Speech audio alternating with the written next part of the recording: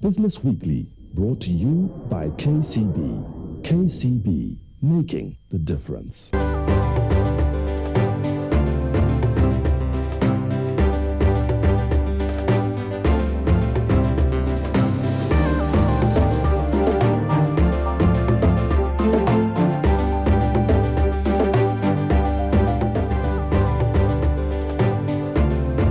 I had on this week's program, the goal of achieving low interest rates and lending remains elusive in the Kenyan economy, stifling business growth, employment creation, and economic activity.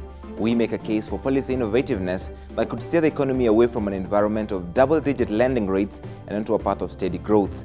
Good evening and welcome to this edition of KTN Business Weekly. I'm Larry Madowo.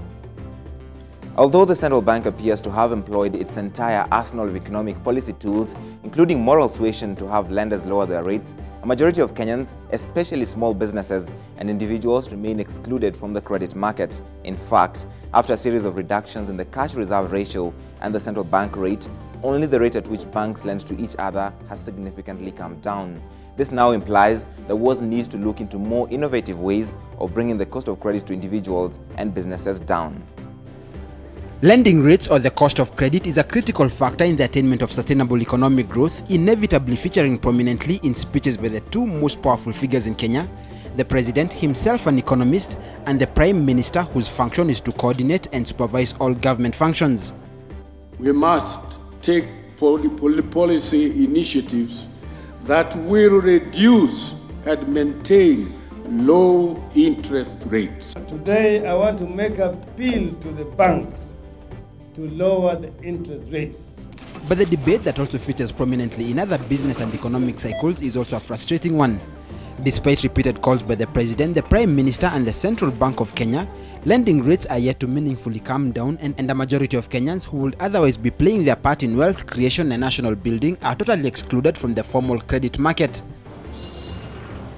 The area received particular attention with the ascension to power of the NARC administration in 2003 and gains made are partly credited for the economic upturn that has been experienced since.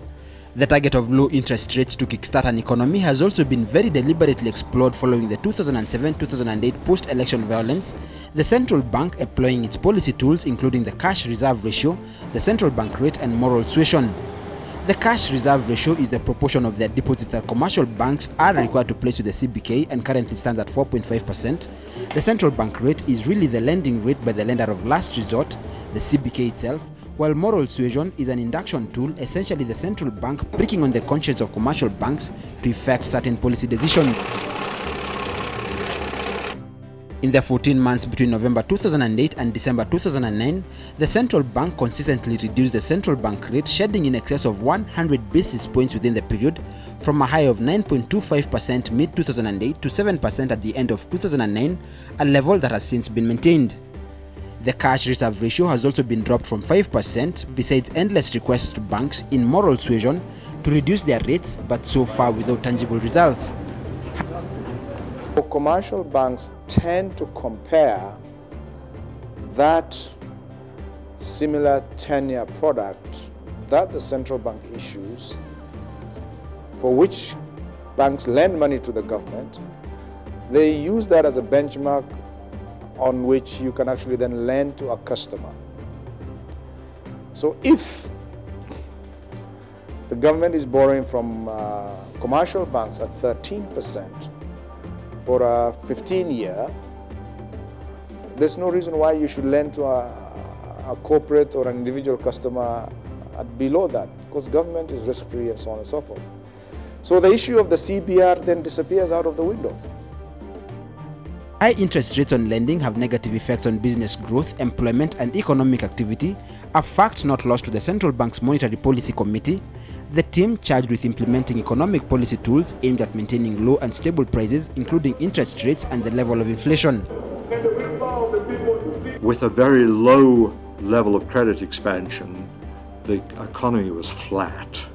With a, a good, strong credit expansion, the economy is buoyant. Now that's, that's really what we want. Lending rates have averaged 20.2% since interest rates were liberalized in July 1991, the central bank noting that these have reduced significantly to an average of 14.76% as at the end of December 2009. The interbank market provides an insight at the level at which banks can lend at and still remain profitable. If commercial banks can lend to each other at a rate of 2%, the prevailing interbank rate, adding an inflation rate adjustment of 5% and a further 3% to cover for costs and markup, implies that lending rates could be brought down to 10% or even lower. However, at the extreme end of the spectrum are personal loans and lending to small businesses where borrowers are currently paying anything between 17 and 21%, losing out on perceived benefits of apparent reductions in interest rates. Commercial banks have argued that the central bank rate represents short-term credit and should not be expected to translate to longer-term borrowing, with most borrowers allowed up to seven years. Interbank market is a short-term end of the market. Now, the expectation is that uh, uh, when we are doing monetary policy, you are affecting the market from the short-term end. So CBR is a short-term end market, repo rate a short-term end market, and interbank is also short-term. And the three rates tend to move together, right? And the expectation is that the same should be translated to the longer time term element, yeah? There are commercial prices, uh, there are consumer prices, there are prices for loans that are secured, there are those that are not secured. And I think it's a really mixed, uh, you know, bag in terms of whatever. So there are some who enjoy very low prices when they are secured, and there are those that are not. But the important thing is, is the market able to afford the prices that we are? I think everybody would like a lower price, but it's got to be done responsibly without causing any dislocation within the financial sector. High lending rates provide multiple risks in the economy, one of which is the non-performing loans and subsequent loss of customer deposits.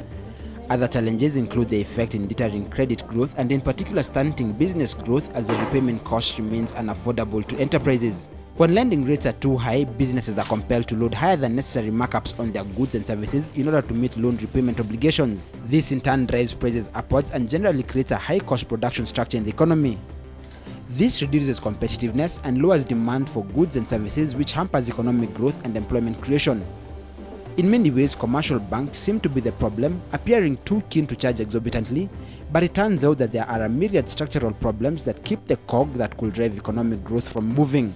Banks face costs, both internal and external, that uh, on the face of it don't allow them to, to drop interest rates just because an, uh, uh, an indicator rate has changed.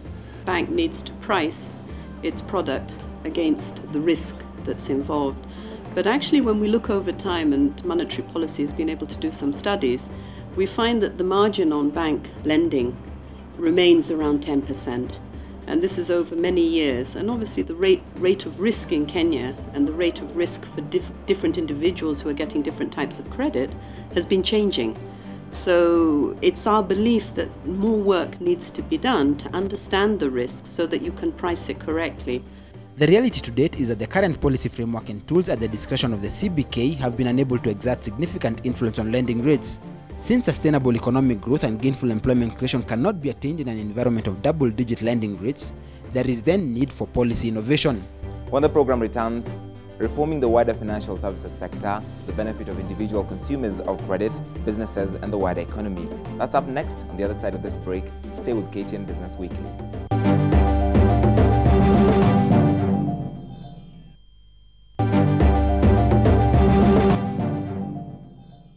According to the central bank's monthly economic review as at the end of 2009, the only rate as shown on this graph that has significantly dropped over the period January 2007 to December 2009 is the interbank rate or the rate at which banks lend to each other, usually overnight. This is despite the significant reduction in the central bank rate. The average interbank rate dropped from 3.11% in November 2009 to 2.95% in December 2009 and 2% currently, implying that while banks have responded to central bank signals, it would appear that the reaction was targeted more at meeting their own needs. But the central bank is optimistic that in the fullness of time, the rest of the credit market will benefit from interest rate reductions. If KTN had need for working capital today, it would go to Bank A and say, I need this money, I need 10 billion shillings. Maybe Bank A may be saying, at the moment, I actually don't have 10 billion. But I can go to Bank B and immediately I get the 10 billion, right? And I'm getting it at a very low rate. I don't need to get to the market and mobilize deposits, which could be take long. By the time I advertise and I say that I need all this, it could take long to convince everybody to come in. Which means that even if interbank rate is at 2%, then uh, Bank B or Bank A, which is uh, lending to KTN, should be get, is getting a, a, a loan at a very low cost. So the liquidity cost is taken care of, right?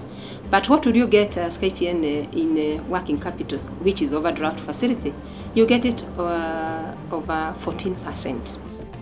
As argued earlier, given the interbank rate of 2%, an inflation rate of 5.2%, and a presumed markup of 3% that should also cover the bank's own costs, lending rates could be anywhere in the 10% range now, rather than between 17 and 21% as is currently the case. The rate exists, but is currently accorded to perceived low-risk borrowers, the large corporations who borrow at rates ranging between 7 and 9.5% to lure them away from other sources of debt such as the short-term commercial paper and the long-date corporate bonds. The other group that enjoys favorable interest rates in the economy are commercial bank employees who receive preferential interest rates at between 4 and 8% per annum. But unfortunately, that is where the theory and practice of reasonably priced credit ends. Lending to small and medium enterprises and personal lending remains highly priced, locking out majority of the population, despite the fact that up to 80% of all employment opportunities are in the informal sector, most of them in small and medium enterprises given certain things that the government can do and should do, and given certain things that banks can and should do, um, interest rates can come down. And basically it has to do with these costs, these costs that are built into the structure of the system. Uh, and, and I, I, give you uh, the first cost is has to do with information. I remember going to Indonesia once and we were shown a map of Jakarta. And in that map, the banks had analyzed the different areas of Jakarta as to where they could lend and how much they could lend. So some areas were seen to be a better risk area than other areas. And it's that kind of analysis that I think our banks now need to, to spend more time doing so that they can look at an individual and really understand the risk of that individual and how to price that risk or a corporate. If you want to clean up the credit market, for example, and you want uh, to have a, a rating agency, central bank cannot do as that because that is somebody else's responsibility. The central bank has already licensed the first credit reference bureau and a successful pilot project on credit information sharing concluded, with the system expected to go live in the middle of the year. While this is commendable, it is not enough to supplement central bank signals towards a reduction in interest rates. Then there is the prospect of developing the microfinance sector to rope in more people from the informal sector to the formal. On this, the central bank has been consistent in promoting a vibrant microfinance sector, but there is need to inquire and address reasons as to why lending rates for them are still high.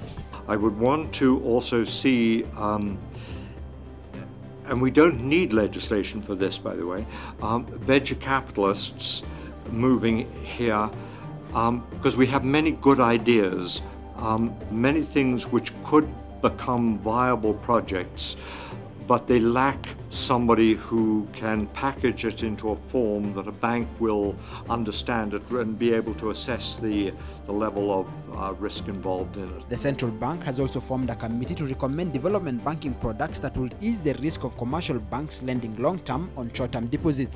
Some banks are, are getting uh, into uh, you know relationship with uh, foreign uh, uh, development institutions, development finance institutions, and they can get loans at a very low rate.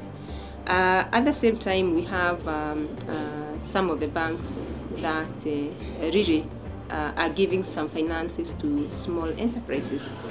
And uh, um, this in itself is a good, is, is, a, is a good gesture, given that uh, even in the Vision 2030, I think there's a lot of emphasis on the role of small enterprises in growing this economy. Deepening the capital market, specifically the bond market, should offer long-term financing for banks and the bigger, higher net worth corporates, further pushing down interest rates. I think the winners in any financial institution are people who are able to generate deposits at a much lower cost than those that who don't. And these things take time. I think what people have is an anticipation which is unrealistic. Given where we're coming from, given the drought and given the, the, the political violence uh, and, and given the, the uncertainty at the moment, um, in all of that, there are still these efforts being made. Sustainable economic growth cannot be attained in an environment of unaffordable credit. Double-digit interest rates on loans are unaffordable and this makes all goals of economic growth difficult to attain. Reforms are urgently required to ensure that credit is more accessible and more affordable. And that is why KTN Business Weekly must come to a close for this day. Thanks a lot for tuning in and for all your support. As always, we do appreciate your views and suggestions regarding the program. The email address is ktnbizweekly at standardmedia.co.ke. For now, though, do make the best of your week ahead. I'm Larry Madowo. Good night.